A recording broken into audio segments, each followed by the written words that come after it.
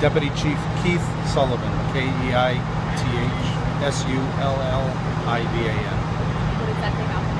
Uh, we got a call for a uh, building fire here at the old Osram Sylvania glass plant about 8.30 this evening.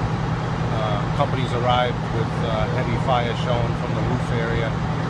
Uh, guys did an awesome job uh, getting uh, big lines up to the roof. Quick knockdown, doesn't appear to be too severe amount of damage. Any victims? Uh, no, no Injuries? injuries. Uh, the building is vacant. Uh, there is security on premises, um, but uh, no, no injuries. Uh, it didn't activate any of the alarm systems, being where the fire was in the uh, metal roof decking. Uh, so that's not actually protected. Was anybody from injured?